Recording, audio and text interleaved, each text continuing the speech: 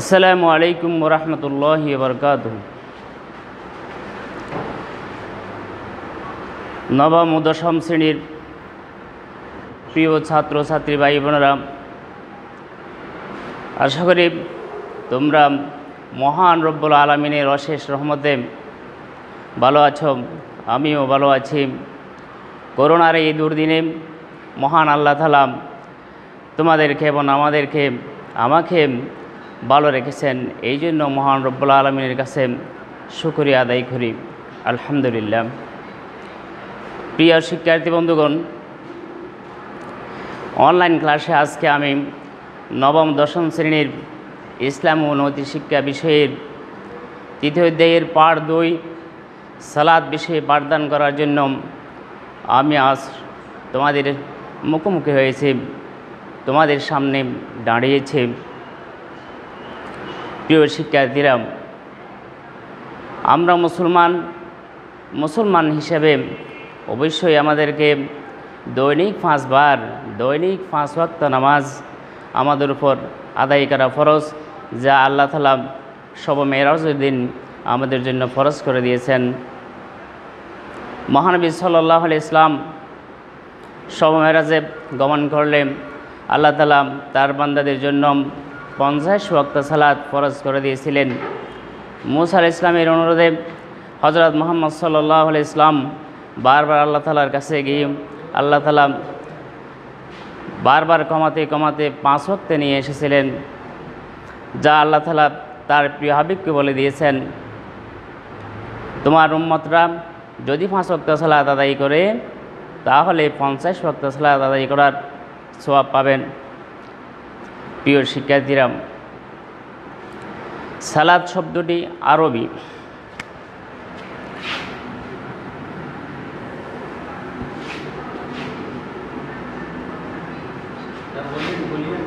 সালাদ শব্দটি আরবি। প্রিয় শিক্ষার্থীরা, সালাদ শব্দটি আরবি। এর ফার্সি প্রতিশব্দ হল এর পার্সি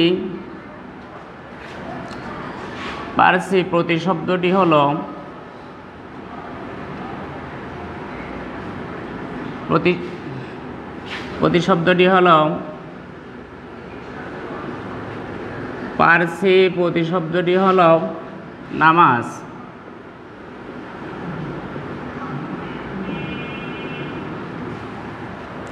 প্রিয় শিক্ষার্থী তাহলে আমরা বলতে পারি সালাদ শব্দটি আরবি সালাদ শব্দটি ভুলে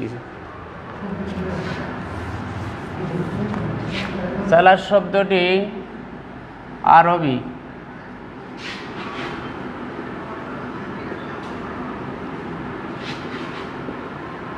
এর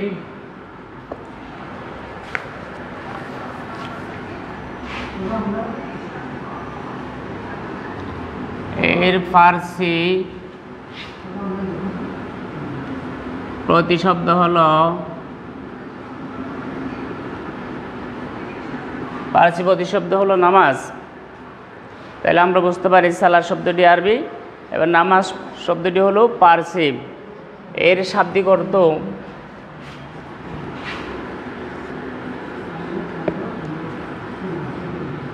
এর শাব্দিক অর্থ হল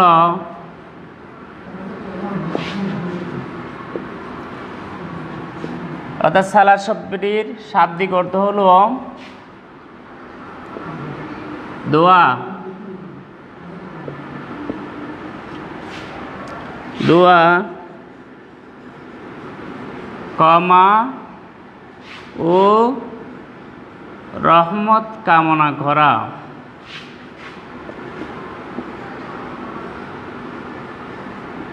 রহমত কামনা করা। সালা শব্দের শাব্দিক অর্থ হলো, দোয়া, কম, রহমত কামনা করা। যেহেতু সালাদ শব্দ দ্বারা, সালাদ দ্বারা বান্দা আল্লাহ তালার কাছে রহমত, দোয়া বুকামা প্রার্থনা করে বিদায়, একে সালাদ বলা হয়। সালাদ ইসলামের ইসলামের মৌলিক মৌলিক পাঁচটি স্তম্ভের মধ্যে সালাত হলো দ্বিতীয়, মহানবী সাল্লাহ ইসলামের ভাষায় বুনিয়াল ইসলাম আলা হামসিন বুনিয়াল ইসলাম আলা হামসিন শাহাদাতি আল্লাহ ইলাহা ইল্লাল্লাহ, ওয়া আন্না মুহাম্মদ রসুল্লাহ ওয়া সালাত, ওয়া ইতাই জাকাতি ওয়া সৌমি রমজান ওয়াল হজ অর্থাৎ ইসলামের মৌলিক পাঁচটি স্তম্ভ হলো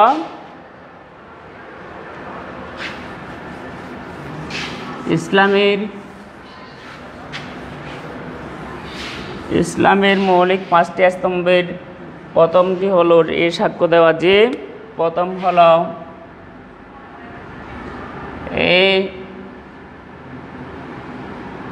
এই সাক্ষ্য দেওয়া যে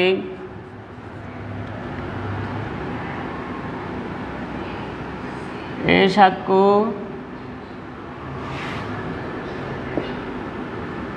দেওয়া যে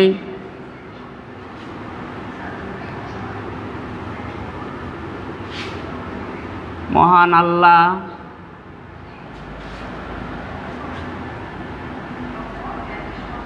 মহান আল্লাহ ছাড়া আর কোনো মাহবুত নেই।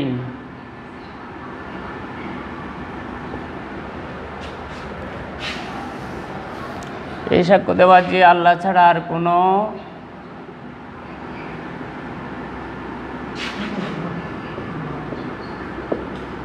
আল্লাহ ছাড়া আর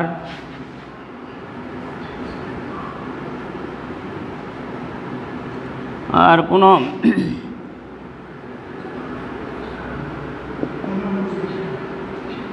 মাহবুদ নেই এবং মহানবী সাল্লাহ ইসলাম আল্লাহ রসুল।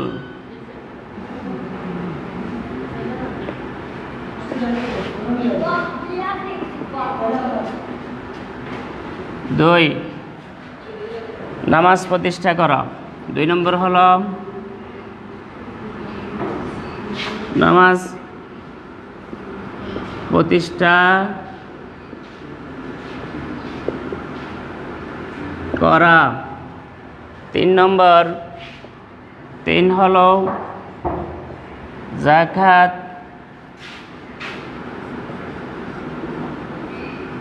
আদায় করা। চার রমজানের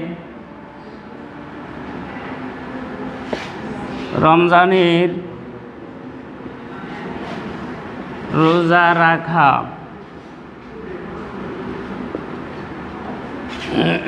পাঁচ,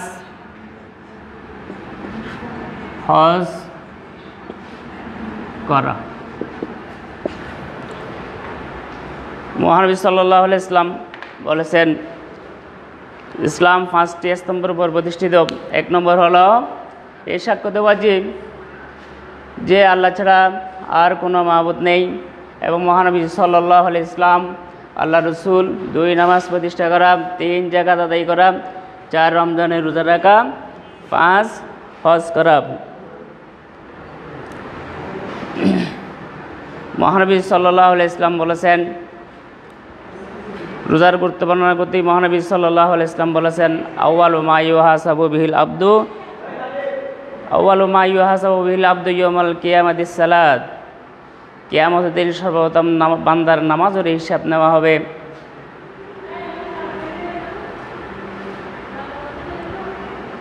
নামাজ মানুষে নামাজ মানুষকে অন্যায় ও অশ্লীল কাজ থেকে দূরে রাখে। এই প্রসঙ্গে মহান আল্লাহ তালা বলেন যে, ইন্না সালাত তানহা আনিল ফাহসা ইওয়াল মুনকার। নিশ্চয় সালাত মানুষকে অন্যায় ও অশ্লীল কাজ থেকে দূরে রাখে। হয়তো তোমরা প্রশ্ন করতে পারো, মানুষ তো নামাজও পড়ে, আবার অন্যায় কাজও কেন করে? অন্যায় অশ্লীল কাজ কেন করে? এর প্রতি উত্তরা হয়তো আমি বলব, তাহলে আমাদেরকে বুঝতে হবে, তাদের নামাজ যথাযথভাবে আদায় হয়নি।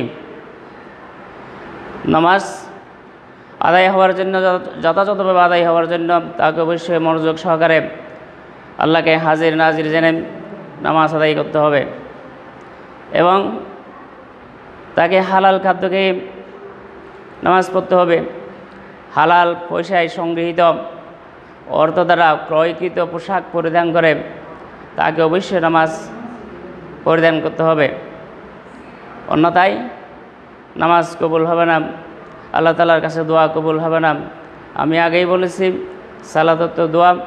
দোয়া কবুল হওয়ার পূর্ব শর্ত হলো হালাল খাদ্য। হালাল খাদ্য মানে বৈধ বৈধ খাদ্য। বৈধ পন্থায় যেসব টাকা পয়সা উপার্জন করা হয়েছে সেই সব টাকা পয়সা দ্বারা যদি হালাল যদি খাদ্য খাওয়া হয় এবং সেই হালাল বৈধ পন্থায় উপার্জিত টাকা পয়সা দ্বারা ক্রয় করা পোশাক দ্বারা যদি সে নামাজ পড়ে, তাহলে তার দোয়া আল্লাহ তালা কবুল করবেন এবং তাকে অবশ্যই নামাজ অন্যায় ও অশ্লীল কাজ থেকে দূরে রাখবেন। রসুল করিম সাল্লাহ ইসলাম বলেছেন, হারাম খাদ্যে হারাম খাদ্য খেয়ে শরীরের জীব রক্ত, মাংস গঠিত হয়েছে, সে শরীর জাহান্নামের ইন্ধন হবে। জাহান্নামের জ্বালানি হবে অবশ্যই, তাহলে আমাদেরকে বুঝতে হবে, হালাল খাদ্য খেয়ে অবশ্যই নামাজ আদায় করতে হবে, আল্লাহর কাছে দোয়া করতে হবে।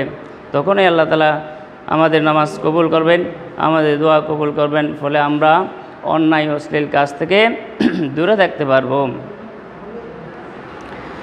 রসুল করিম সাল্লাহ ইসলাম হতে বর্ণিত আছে, কোনো এক ব্যক্তি দীর্ঘ সফর শেষে এসে মহা অতি ব্যাকুলভাবে আল্লাহ তালার কাছে দোয়া করতে লাগল, মনোজাত করতে লাগল, হে আল্লাহ হে আল্লাহ। কিন্তু তার হারা, খাদ্য হারাম পরিধানকৃত পোশাকও হারাম। মহানবী ইসলাম বললেন, এমত অবস্থায় তার দোয়া কি করে কবল হতে পারে?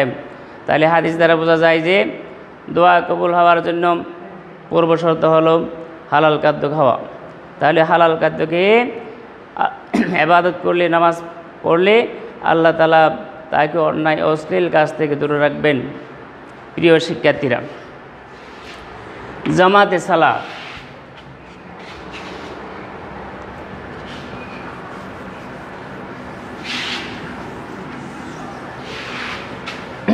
প্রিয় শিক্ষার্থীরা জামাতে সালাত আদায়ের গুরুত্ব।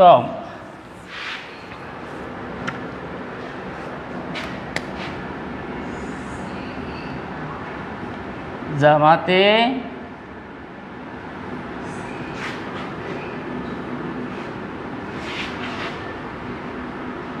জামাতে সালাত জামাতে সালাত। জামার শব্দের অর্থ একত্রিত হওয়া, একতাবদ্ধ হওয়া। জমার শব্দের অর্থ প্রিয় শিক্ষার্থীরা, জমার শব্দের অর্থ একতাবদ্ধ হওয়া, একত্রিত হওয়া। ইসলামী পরিবেশায় কোনো নির্দিষ্ট সময়ে, নির্দিষ্ট স্থানে নির্দিষ্ট স্থানে মুসলিম উম্মাগণ কোনো ইমামের পিছনে দাঁড়িয়ে কাতারবন্দি হয়ে দাঁড়িয়ে যে সালাত আদায় করা হয়, তাকে বলা হয় জামাতে সালাত। জামাতে সালাত আদায় করার গুরুত্ব বর্ণনা করতে গিয়ে রাসুল সাল্লাহ ইসলামের সাথ করেছেন। ফরজ তামাজ একাকে পড়ার চেয়ে জমাতে আদায় করার মধ্যে সাতাশ গুণ সব বেশি পাওয়া যায়। তাছাড়া তাছাড়া আল্লাহ তালা জামাতের, জামাতে সালাত আদায় করার প্রতি গুরুত্ব দিয়ে বর্ণনা করেছেন ওয়ার্কা ও মারিন তোমরা রুকুকারীদের সাথে রুকু আদায় করো, এ আয়াত দ্বারা জামাতে সালাত আদায়ের প্রতি গুরুত্ব আরোপ করা হয়েছে। জামাতে সালাত আদায়ের প্রতি নির্দেশ দেওয়া হয়েছে। রসুল করিম সাল্লাহ ইসলাম নিজেও জামাতে সালাত আদায় করতেন। সাহাবাদেরকেও জামাতে সালাত আদায় করার জন্য নির্দেশ দিতেন। হঠাৎ করে কোনো মুসল্লি কিংবা কোনো সাহাবি জামাতে উপস্থিত না হলে তার খোঁজ খবর নিতেন এবং রসুল সাল্লাহ ইসলাম জামাত উপস্থিত না হওয়ার জন্য অসন্তুষ্ট হতেন সুতরাং আমরা জামাতে সালাত আদায় করার জন্য চেষ্টা করব। প্রিয় শিক্ষার্থীরা, সালাতির ধর্মীয় গুরুত্ব।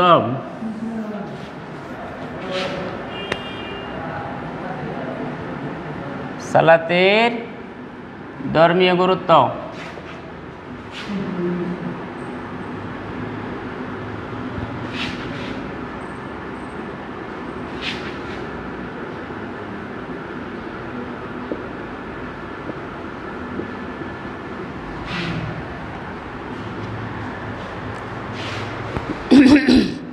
প্রিয় শিক্ষার্থী বন্ধুগণ, সালাতের ধর্মীয় গুরুত্ব অশেষ, যা বর্ণনা করে শেষ করা যাবে না। সালাদ আল্লাহ তালা সালাদ বান্দাকে আল্লাহ তালার নৈকট্য লাভের জন্য সাহায্য করে। অর্থাৎ সালাদ বান্দা আল্লাহ তালার নৈকট্য লাভের মাধ্যম। সালাদের মাধ্যমে বান্দা আল্লাহর সন্তুষ্টি অর্জন করা যায়। অন্তরে প্রশান্তি আসে, আত্মা, আত্মার প্রশান্তি লাভ করা যায়। সালাদ রাসুল করিম সাল্লাহ ইসলাম বলেছেন আসসালা তুমি রাজুল মোমিনিন সালাত হলো বান্দার জন্য মেয়েরা স্বরূপ। অর্থাৎ সালাতের মাধ্যমে আল, বান্দা আল্লাহর খুব কাছাকাছি চলে যাওয়া যায়। রসুল করিম সাল্লাহ ইসলাম যেভাবে মেয়েরাজে আল্লাহ তালার কাছে চলে গিয়েছিলেন, ঠিক তদ্রুপ নামাজের মধ্যেও বান্দা আল্লাহর খুব কাছাকাছি চলে যেতে পারেন। আল্লাহর সাথে সান্নিধ্য ঘটে। এমনকি নামাজ পড়ার সময় মনে করতে হবে কান্নাকা তারা যেভাবে তুমি তাকে দেখছ। আল্লাহ আমাদেরকে দেখছেন, আমরাও যেন আল্লাহকে দেখছি। এভাবে আমাদেরকে সালাদ আদায় করতে হবে। সালাদের গুরুত্ব বর্ণনা করতে গিয়ে রাসুল সাল্লাহ ইসলাম বলেছেন, যে ব্যক্তি মনোযোগ সহকারে সালাদ আদায় করবে, সেই সালাদ কালকে কেয়ামতের দিন তার জন্য নূর হয়ে দাঁড়াবে। এক সময় রাসুল করিম সাল্লাহ ইসলাম সাহাবাদের উদ্দেশ্যে বললেন, তোমাদের কারও বাড়ির পাশ দিয়ে যদি কোনো নদী প্রবাহিত হয়, সেই নদীতে যদি দৈনিক পাঁচবার গোসল করা হয়, তাহলে তার শরীরে কোনো কি মহিলা আবর্জনা বাকি থাকবে? সাহাবার উত্তর দিলেন, না রসুল সাল্লাহ ইয়া রসুল্লাহ সাল্লাহ ইসলাম তাহলে রসুল সাল্লাহ ইসলাম বললেন, তাহলে তার এভাবে তার কোনো ব্যক্তি যদি দৈনিক পাঁচবার নামাজ আদায় করে, তাহলে তার কোনো গুণা থাকবে না। রসুল করিম হজরত আবদুল্লাহ বিন মাসুদ রদিল্লাহ তালাহু থেকে বর্ণিত, একবার এক ব্যক্তি রসুল সাল্লাহ ইসলামকে জিজ্ঞাসা করলেন, ইয়া রসুল্লাহ সাল্লাহ ইসলাম কোন আমলটি সবচেয়ে আল্লাহ তালার কাছে কোন আমলটি সবচেয়ে উত্তম? রসুল করিম সাল্লাহ ইসলাম বললেন সালাদ লোকটি আবার জিজ্ঞেস করল, ইয়া রসুল্লাহ ইসলাম তারপর কোন আবাদত কোন আমলটি উত্তম? রাসুল করিম সাল্লাহ ইসলাম বললেন, পিতামাতার আনুগত্য করা। লোকটি আবার জিজ্ঞেস করল, ইয়া রসুল্লাহ সাল্লাহ ইসলাম তারপর কোন আমলটি উত্তম? রসুল করিম সাল্লাহ ইসলাম বললেন যে, জিহাদ ফি সাবিল্লাহ আল্লাহ রাস্তায় জিহাদ করা। তাহলে বোঝা যায় সালাদের ধর্ম গুরুত্ব খুব বেশি যা বর্ণনা করে, সংক্ষিপ্তভাবে বর্ণনা করে শেষ করা যাবে না। আমাদেরকে অবশ্যই আল্লাহর নৈকট্য লাভ করতে হলে, আল্লাহর সন্তুষ্টি লাভ করতে হলে অবশ্যই সালাদ আদায় করতে হবে। আর আল্লাহ আল্লাহ রসুলাম বলছেন আসসালা তুমি ইত্তাহুল জান্নাম সালাত হলো জান্নাতের সাবি তাহলে বোঝা যায়, কোনো ব্যক্তি জান্নাত, কোনো ব্যক্তিকে জান্নাত লাভ করতে হলে তাকে অবশ্যই সালাত আদায় করতে হবে। রসুল করিম সাল্লাহ ইসলামের জামানায়, রসুল সাল্লাহ ইসলামের সময়ে রসুল ইসলাম সাহাবাদেরকে যখন বিভিন্ন সময় যুদ্ধে পাঠাতেন বিভিন্ন স্থানে যুদ্ধ পাঠাতেন রসুল করিম সাল্লাহ ইসলাম সাহাবাদেরকে বলে দিতেন, তোমরা ততক্ষণ পর্যন্ত যুদ্ধ চালিয়ে যাবে। যতক্ষণ নয় এলাকার লোকেরা ইমান না আনে, যতক্ষণ নয় এলাকার লোকেরা নামাজ না পড়ে, যতক্ষণ না তারা জাকাত না দেন তাহলে বুঝতে হবে সালাদের গুরুত্ব অত্যন্ত খুব সালাদের গুরুত্ব খুব বেশি। সালাদের ধর্মীয় গুরুত্ব ছাড়া সালাতের সামাজিক গুরুত্ব রয়েছে প্রিয় শিক্ষার্থীরা, সালাতের সামাজিক গুরুত্ব।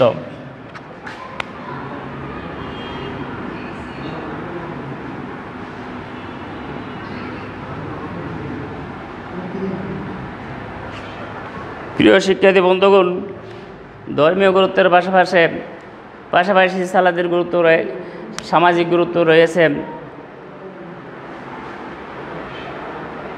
মুসলমানরা দৈনিক পাঁচবার সালাদের উদ্দেশ্যে মসজিদে মিলিত হলে সেখানে সমাজের একে অপরের সাথে দেখা হয়।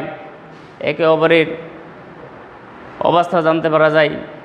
একে অপরের দুঃখের সাথী হওয়া যায়। একে অপরকে সহযোগিতায় এগিয়ে আসা যায়। তাছাড়া সালাদে যখন কাতারবন্দি হয়ে দাঁড়ায়, ধনী, দরিদ্র, রাজা, প্রজা এর মধ্যে ভেদাভেদ থাকে না। কাঁদি কাঁধ মিলিয়ে নামাজের জন্য দাঁড়িয়ে যায়। ফলে এদের মধ্যে সাম্য বন্ধুত্ব সাম্য বন্ধুত্ব সৃষ্টি হয়। পারস্পরিক হিংসা, ভেদাভেদ বলে গিয়ে বন্ধুত্ব সৃষ্টি হয়। তাছাড়া সালাদে সময় সময়ের জানা যায় সময়ের প্রতি দৃষ্টি সময়ের প্রতি লক্ষ্য করা যায়। যেহেতু সালাদ নির্দিষ্ট সময়ে আদায় করতে হয়।